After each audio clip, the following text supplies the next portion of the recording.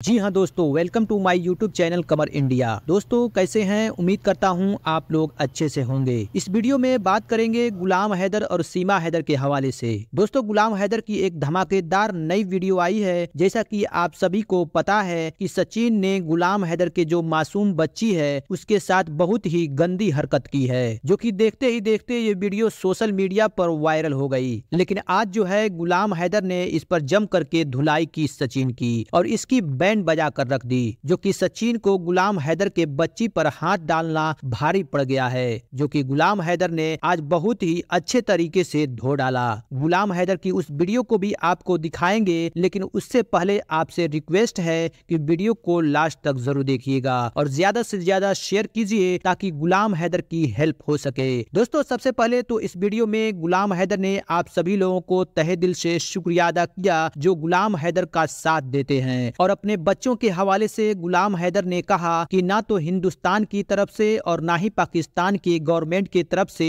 कोई कदम नहीं उठाया जा रहा है। मुसलसल मैं चीख रहा हूँ, चिल्ला रहा हूँ, पता नहीं ये सरकार क्यों चुप बैठे हैं, क्योंकि बेहतर वही जानते हैं कि अब तक बच्चों के वापसी के बारे में कोई भी ऐसे इरादे अमल नहीं नज़र आ रहा है कि बच्चे वापस आ सके। गुलाम हैदर कह रहे हैं कि मैं अपनी तरफ़ से हर मुमकिन कोशिश कर रहा हूँ, लेकिन अफसोस उन आला इदारों पर है पाकिस्तान पाकिस्तान सरकार है, मोदी सरकार है, योगी सरकार जो हिंदुस्तान में है। और अफसोस है कि चार बच्चों को लेकर एक इलीगल तरीके से सीमा जा करके इंडिया में बैठ गई है, उसे कोई भी सवाल जवाब नहीं है। और इस वीडियो में हैदर ने कहा कि कानून के लोगों से मेरा पुरजोर अपील है कि चार बच्चों को लेकर पाकिस्तान से सीमा हैदर इलीगल तरीके से आई है तो उनको जेल के हवाले करो, पुलिस कस्टडी में रखो या बच्चों को डिपोर्ट करो। लेकिन अब तक क्यों कुछ नहीं हो रहा है? और मैं अल्लाह से दुआ करते हैं कि हमारी पाकिस्तान गवर्नमेंट या हिंदुस्तान के गवर्नमेंट को सोचना चाहिए इन चार बच्चों की ज़िंदगी के बारे में। और गुलाम हैदर इस वीडियो में ये कह रहे हैं कि मैं दर बदर इधर उधर ठोकरे खा रहा हूँ और मेरी मम्मी का भी तबीयत ठीक नहीं है। अल्लाह बेहतर करेगा।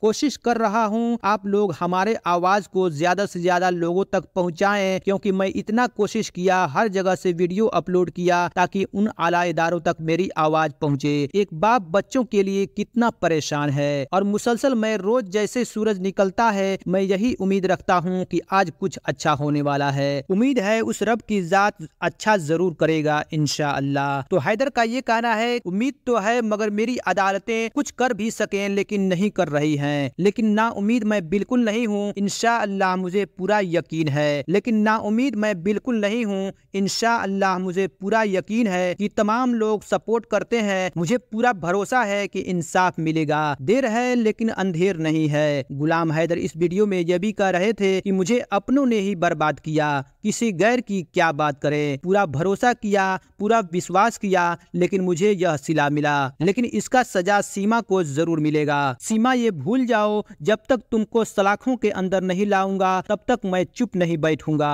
और जो तूने मेरे साथ किया, उसका अंजाम पूरा दुनिया देखेगी। और बच्चों को हर हाल में लाना मेरी ज़िंदगी का मकसद है। और जो भी ये वीडियो देख रही है, हर माँ बेटी हमारे साथ है। अल्लाह उनको ज़िंदगी दे। इनशा अल्लाह अल्लाह हमारी कामयाबी ज़रूर देगा। जीत हमेशा सच्चाई की होती है। सीमा, तुम ऐसा मत सोचो कि मैं अच्छा कमा रही हूँ यूट्यूब से और लोग साथ दे रहे हैं। तो ये तुम्हारी गलत सोच है। लोग तुम्हारा तमाशा देख रहे हैं। ये याद रखना। अगर कोई भी तमाशा करता है रोड पर तो कितने लोग जमा होते हैं देखने के लिए कि वो कितना बेवकूफ़ है? सीमा, दुनिया तुम्हारे साथ नहीं है। बस तुम्हें इस्तेमाल किया जा रहा है। ये तुम याद रखना। तुम्हारी सिर्फ़ जिस्म फरोसी हो रही है। तुम सोच रही हो कि आज मैं ठुमके लगाकर चार पैसे कमा रही हूँ और कल यही काम बेटियाँ करेंगी, ये बिल्कुल गलत है, ये तुम्हारी भूल है, ऐसा बिल्कुल नहीं होगा। और गुलाम हैदर इस वीडियो में ये भी कहा कि हमारे हाथ मज़बूत हो रहे हैं, अंसार बर्नी साहब है, हम है, हमारे साथ सभी लोगों की दुआएँ हैं। इनशा अल्लाह वह दिन दूर नहीं है जो कि सीमा तुम्हारी गिरहबान होगा और हमारा हाथ होगा।